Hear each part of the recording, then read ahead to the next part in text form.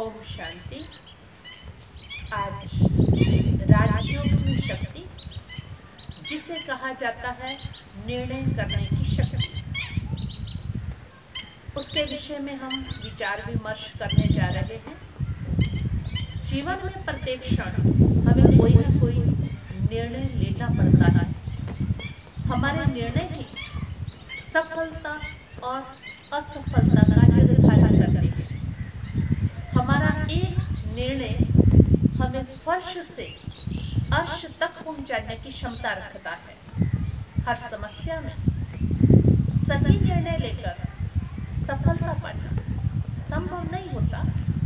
जिस तरह से एक तराजू में अगर कुछ भी रखो तो उसका सही निर्णय तभी मिलता है जब उसका बीच का कांटा एकदम स्थिर होता है।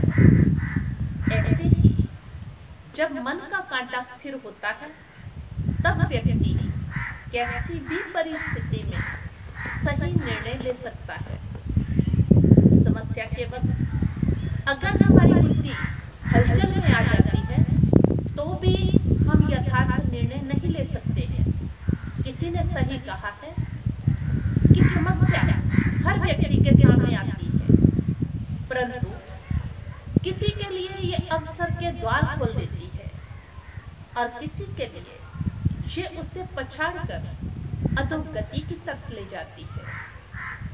अब वास्तव में देखा जाए, अब वो व्यक्ति जो सही निर्णय लेता है, उसका आधार क्या है? उसके पीछे दो गुण हैं। एक है स्थिरता और दूसरा है धैर्यता। जब बुद्धि रूपी कांटा, स्थिर होता है, मन धैर्यवत होता है, तब व्यक्ति सही निर्णय ले सकता है। कामयाबी उसी के चरण चुमती है, जो उचित समय पर सही निर्णय ले पाती है। हमें अपने मन को परमात्मा में एकाग्र बुद्धि रूपी कांटे को स्थिर कर जीवन में सफलता का अनुभव करना है। क्योंकि जीवन में निर्णय के मौके बार बार आते हैं। ग्रस्त जीवन में रहते हुए हमें अनेक प्रकार के निर्णय लेने पड़ते हैं। लेकिन जब मन स्थिर था, तब हर व्यक्ति अपनी हर समस्या का समाधान अपने घर में बैठकर कर लेता था। सभी निर्णय एक घर में हो जाया करते थे। लेकिन समय ने करवट बदली और मनुष्य मन विचलित होने लगा अनेक परिस्थितियों के कारण। और हमने देखा कि आज मन की स्थिरता की कमी के कारण इंसान के घर के निर्णय भी कोर्ट और कचहरी में होने लगे हैं। लेकिन अगर मन परमात्मा पिता में लग जाए जिसे हम राज्यों का मेडिटेशन कहते हैं। उससे मन में स्थिरता आएगी। स्थिरता आने से धैर्यता होगी और धैर्यता से हम अपने हर निर्णय सहज कर सकेंगे। इसलिए मेडिटेशन का अभ्यास करते हुए हम अपनी निर्णय शक्ति को बढ़ा सकते हैं। लेकिन कई बार हम देखते हैं कि निर्णय सही नहीं होते एक छोटी सी बात हमें याद आती है जब हम भावनाओं के वश होकर कोई भी निर्णय करते हैं तो निर्णय सही नहीं होता है। कहते एक बार एक भगत और भगवान में गहरी मित्रता हो गई और भगत ने देखा भगवान हर रोज खड़े रहते हैं, एक ही मुद्रा में, एक ही पोजीशन में और जो भी आता है, उससे मुस्कुराकर उसको आशीर्वाद देते हैं। तो उन्होंने कहा, भगवान, आप बहुत समय से, जब से मैं आपको देख रहा हूँ आप ऐसे ही खड़े हैं। क्यों ना ऐसे किया जाए कि एक दो दिन के लिए आप छुट्टी पे चले जाए और मैं आपके स्थान पर खड़ा होकर के आपकी ये सेवा करूँ। भगवान ने उनको बहुत मना किया, लेकिन भगत जिद पर आ गए और कहा कि भगवान, आपकी और मेरी मित्रता का क्या फ़ायदा? तो इसलिए आज आप मुझे अपनी जगह खड़ा कर दें। भगवान ने कहा, ठीक है, लेकिन एक बात का ध्यान रखना, कोई भी आए कोई भी जाए, लेकिन आपको साक्षी होकर के ओनली देखना है, लेकिन कोई इंटरफेयर नहीं करनी है। तो भगत ने कहा, ठीक है। भगवान ने उनको अपने स्थान पर खड़ा कर दिया और वो चले गए। और दिन की शुरुआत हो गई। अब दिन की शुरुआत हुई तो भक्तों ने मंदिर में आना शुरू किया। अब सुबह सुबह एक भगत मंदिर में आ रहे हैं, जो बहुत धनाढ़ बहुत अमीर व्यक्ति हैं। लेकिन कहते हैं, अमीरों की इच्छाएँ भी तो खत्म नहीं होती। तो उसको और इच्छाएँ हैं कि, हे भगवान, मेरा ऐसा हो जाए, इतनी फैक्ट्रियाँ हो जाए, ये हो जाए। उसने भगवान के आगे हाथ जोड़ा और पूजा अर्चना की। लेकिन जाते जाते वो जाने लगे तो उनका एक पर्स जेब से निकल करके नीचे गिर गया और वो चले गए। उन्होंने देखा नहीं, लेकिन थोड़े ही समय के पश्चात एक बहुत गरीब व्यक्ति वहाँ आया। जो भगवान के आगे प्रार्थना कर रहा था, हे भगवान, दो जून की रोटी भी नहीं है। कुछ ऐसी कृपा करो, कुछ प्रबंध करो। और जैसे ही वो जाने लगा, मस्तक झुका करके नीचे देखा तो एक पर्स गिरा हुआ है। उसने उस पर्स को उठाया और देखा, उस पर्स में बहुत सारा पैसा है। उसने भगवान का धन्यवाद किया, हे प्रभु, आपकी अपार कृपा हुई। और ऐसे करके वो फिर से जाने लगता है। और वो पर्स लेकर के वहाँ से चला जाता है। उसके तुरंत पश्चात एक नाविक, जिसको जल्द ही अपनी यात्रा पर वापस लौटना है, वो वहाँ आते हैं।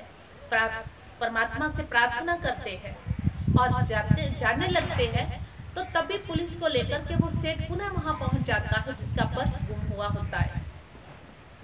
लेकिन देखा यह जाता है कि वो जब पहुँचते हैं तो वो व्यक्ति को पकड़ने लगते हैं कि इन्होंने शायद पर्स चुराया।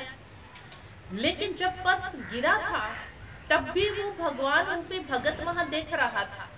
लेकिन जब वो गरीब व्यक्ति पर्स उठा के जाने लगा, तब भी वो बोलने लगा। लेकिन समृद्धि आ गई कि भगवान ने बोलने के लिए मना किया है। अब जब ऐसा मौका सामने आया कि जिसने चोरी की नहीं, वो पकड़ में आ रहा है तो उससे रुका नहीं गया। वो तुरंत बोला, ठहरो। बताता हूँ कि पर्स इसने नहीं उठाया और पर्स तो उस व्यक्ति ने उठाया जो इससे पहले आया था। और वो लोग गए और उस व्यक्ति को पकड़ अब वो दिन दिन में, पूरा दिन बहुत खुशी में कि आज मैंने एक बहुत अच्छा निर्णय लिया लेकिन शाम को जब भगवान आए और उनको भगत मिल रहा है और वो बड़ी उत्सुकता बस भगवान को ये बता रहा है कि आज तो मैंने एक बहुत अच्छा काम किया। एक बेकसूर व्यक्ति जो पुलिस में जाने वाला था, जेल में जाने वाला था, आज मैंने उसको छुड़ा दिया। भगवान ने कहा, फिर तुम बोल पड़े क्या? तो उसने कहा हाँ। भगवान आप सुनिए क्या हुआ भगवान ने कहा कि तुमको मैंने कहा था कि तुमको बोलना नहीं। कहते, जो व्यक्ति इतना अमीर धनाढ़ पहला भगत आया था, उसके पास अथा अनगिनत संपत्ति थी, अखुट खजाना। उसका एक पर्स गिर भी गया था तो उससे उसको कोई फ़र्क नहीं पड़ने वाला था।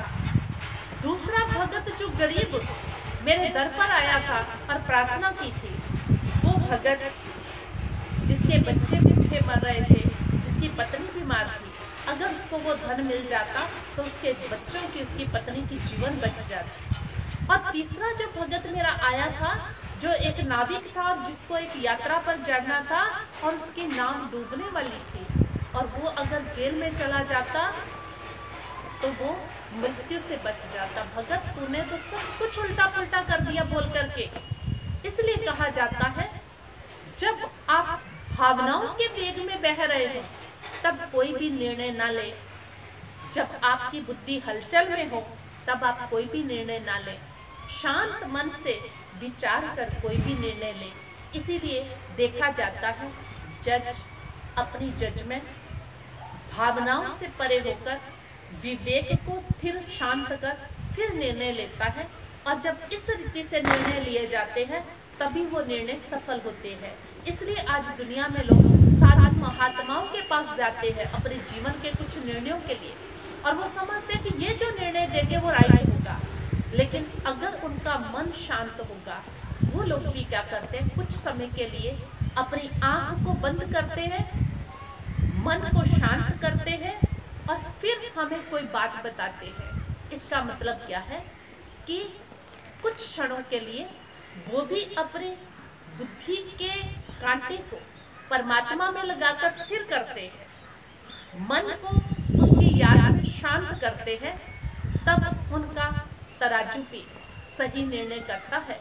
तो ये कार्य हम सभी अपने जीवन में स्वयं भी कर सकते हैं, क्योंकि ग्रस्त में रहते तो बहुत से निर्णय हम सभी को लेने पड़ते हैं। तो इस तरह हम अपने जीवन में अपनी निर्णय शक्ति को बढ़ा करके अपने घर परिवार को सुखी और शांत बना सकते हैं। आप सभी की निर्णय शक्ति परमात्मा की याद से अवश्य बढ़ेगी, जब आप भी मेडिटेशन करते रहेंगे। ओम शांति ओम शांति।